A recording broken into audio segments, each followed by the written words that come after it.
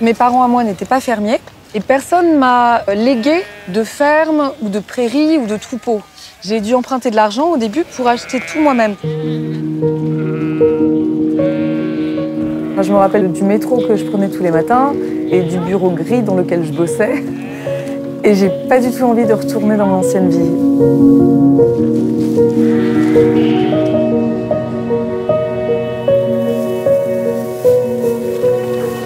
Bernadette, il est là?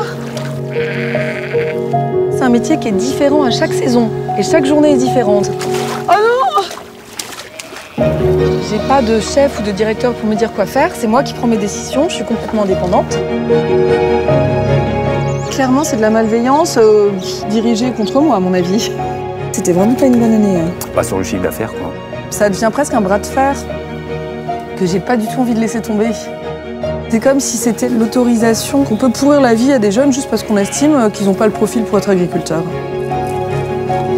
J'ai tellement gagné en liberté que les petits inconforts matériels, ça me paraît beaucoup moins grave. Quel est le nom de votre profession? Bergère, ça me va bien comme nom pour ma profession.